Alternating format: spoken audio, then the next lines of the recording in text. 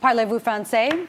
I don't very well, but children can learn new languages much faster than adults, so why not give them the benefit of a bilingual education? Here to tell us how is Mehdi Lazar from, I hope I say this correctly, mm-hmm. École Bilingue de Berkeley. Perfect. Is that right? Very nice. That's French for you. Thank you so much for coming on the show. Thank you for having me. Okay, so let's talk about the advantages of a child becoming bilingual. For sure, there are many advantages actually. There are numerous. To start with cognitive advantages, mm -hmm. uh, bilingual children usually outperform monolingual children or counterparts in standardized testing. But they have more plasticity of their brain, more flexibility. They are more divergent thinkers, an ability to think differently, to see the world from different viewpoints.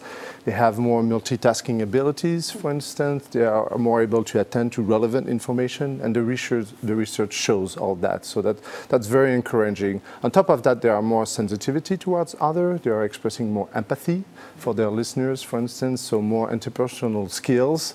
And it gives a head start in accessing the best high schools and universities, and after that, jobs, of course. Well, it's hard to learn a language and not learn about the culture, so that would sympathize, that would make you sympathize from, Absolutely. from with other people. Okay, so how can we help children become bilingual, especially if, as a parent, you are not bilingual? Right. So there are many ways to do that. Maybe in your family, first of all, because your partner speaks another language, or your aunt or grandparents. If that's not the case, you can find a structure for that, such as an immersion school like ours. In that case, what you need is continuity and the quality and the quantity of the exposure to the target language or second language. And if you do so, then across time, children will learn the second language very easily because they learn it subconsciously mm-hmm. through interacting with peers and teachers, through playing, and it's it's really it, it's a gift for life. So it will stay forever, and it will change the way the, the brain is wired for the children. And is it younger the better? Because I took French in high school, and I remember Je m'appelle Michel, and right. that's about it. yes, well so you need a long time, you need dedication and commitment to learning that language. Yes. So earlier the better for sure, for okay. many reasons. And one of the reasons is pronunciation. Mm. You can hear from my accent that I learned later on in life the English language, but if you learn early enough, then you don't have an accent. Your pronunciation is perfect. And that's one of the many advantages of starting early. Okay, and this wonderful school that you just mentioned, um, tell me about that. It's a full immersion?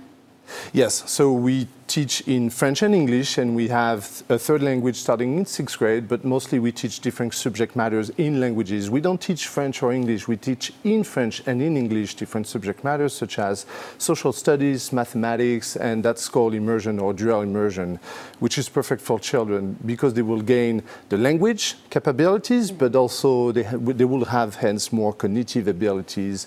Plus, they will be bicultural mm -hmm. and biliterate. Because, I mean, you could have some students in there when they first go, maybe the first day of school, saying, mm, I don't understand that. But, uh, but eventually they pick up Absolutely. They pick it up. Yes, absolutely. Because we have more support. We have images and, and mm-hmm. cartoons and we play. And so by interacting, it's done very naturally. And what are the disadvantages of a child becoming bilingual? Any? Well, not, not many actually. Some are that it requires dedication, so you have to stick to it. Another one, if you're bilingual in your family, is that sometimes it could be emotionally draining. You have to remind the child that, no, it's time to speak Japanese, no, or German. Sure. Other than that, it's really a gift. Okay, well, Mehdi, thank you so much for coming on the thank show. Thank you for having me. I'll work on my French. There you go. A little bit. And don't forget, there is an auction and a gala coming up for the school. It's on April 7th from 5.30 to midnight. It's at the Claremont Hotel in Berkeley. There's going to be food, food, cocktails, a silent and live auction, and you'll get a chance to practice your French. There you go. now, a special treat after the break. Stanford and Cal will be doing it a cappella. Stanford girl, she's been living in her white bread world. You know she'll never ever get a B because her parents built the library. That points ain't free. She goes to